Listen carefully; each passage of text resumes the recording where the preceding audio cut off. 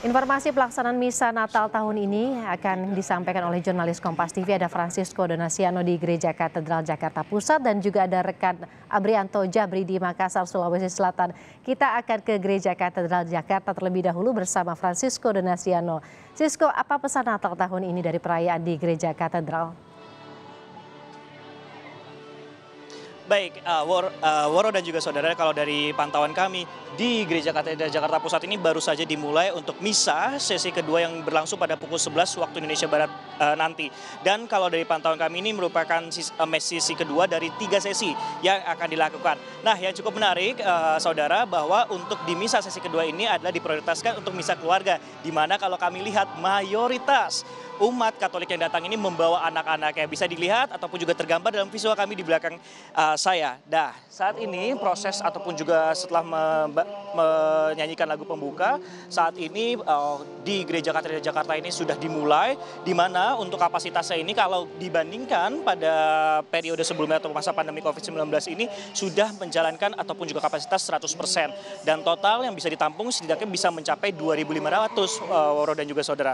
Nah, yang menarik juga juga dalam misa kali ini juga uh, ada tema yang kemudian diangkat yaitu yang disampaikan oleh Uskup Agung Jakarta yaitu adalah uh, untuk mengajak umat Kristiani untuk lebih peduli dan cinta terhadap tanah air dan mencermati tantangan bangsa ke depan dalam rangka memaknai perayaan Natal. Nah, salah satu kemudian isu yang diutarakan ataupun juga diungkapkan oleh Uskup Agung Jakarta ini adalah masalah perdagangan orang, isu sara dan hoax dan juga uh, terkait masalah ekologis ataupun juga menyoroti masalah masalah sampah sehingga isu-isu ini diharapkan dapat menjadi uh, yang tantangan ini dapat menjadi uh, kepahaman bersama ataupun juga dicermati bagi masyarakat di tahun-tahun mendatang.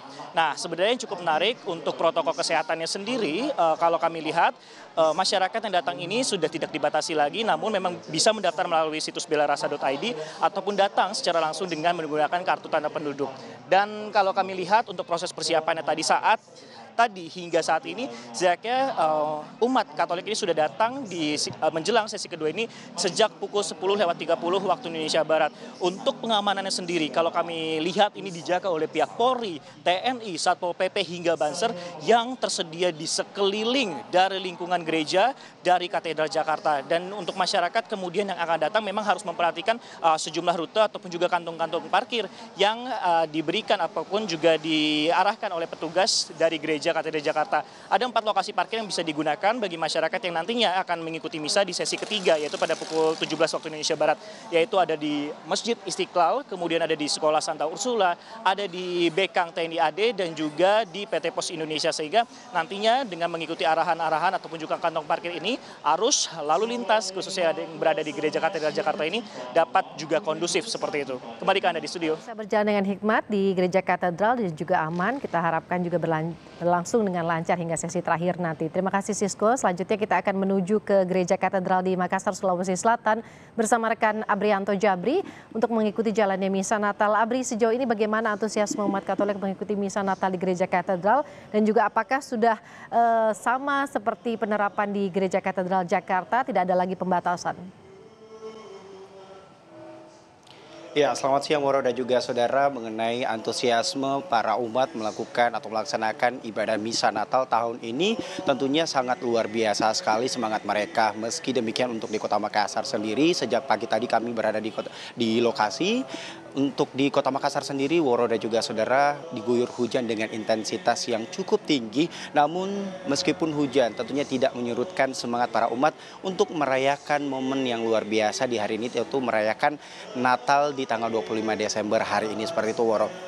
Dan untuk ketersediaan umat sendiri merayakan Natal di Gereja Katedral Kota Makassar tentunya untuk gereja ini sendiri dapat menampung sebanyak seribu umat namun untuk di tahun ini bisa mencapai 2.000 orang. Untuk 2.000 umat sendiri merayakan misa Natal di gereja tersebut juga dikarenakan memang uh, beberapa gereja yang ada di Kota Makassar saat ini sedang dilakukan renovasi dan dipusatkan untuk melakukan misa Natal di gereja Katedral Kota Makassar, Sulawesi Selatan.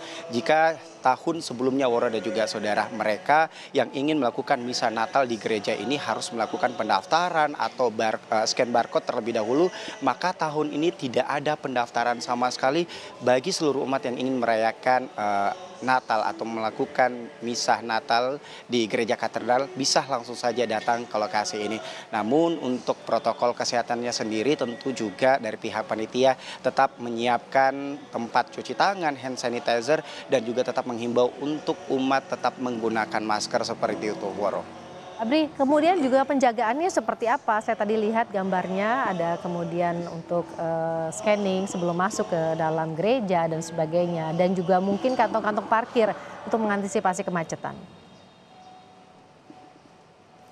Ya, jadi Woro dan juga saudara memang untuk di Gereja Katedral Makassar, Sulawesi Selatan hingga saat ini memang pihak gabungan pengamanan yang dilakukan oleh pihak kepolisian dari Polsek Ujung Pandang dan juga Brimopolda Sulawesi Selatan sebelum pelaksanaan misa uh, pertama dilakukan pukul 6.30 waktu Indonesia uh, waktu Indonesia Tengah pagi tadi uh, dilakukan sterilisasi dari uh, pihak kepolisian dan juga hingga saat ini tentunya ada beberapa tahap uh, pemeriksaan yang dilakukan oleh pihak kepolisian atau pihak pengamanan dari pihak kepolisian seperti itu. Yang pertama pertama itu uh, uh, detektor gate dan juga selanjutnya adalah X-ray yang di mana memang harus diperiksa apakah barang-barang yang dibawa oleh para umat layak untuk dibawa masuk ke dalam gereja untuk melakukan ibadah atau tidak seperti itu dan untuk lalu lintas lainnya pun juga saat ini berjalan lancar di sekitar area gereja katedral Makassar Woro. Yanto Jabri dari Gereja Katedral Makassar, Sulawesi Selatan dan sebelumnya ada Francisco Donasiano dari Gereja Katedral Jakarta. Terima kasih rekan-rekan.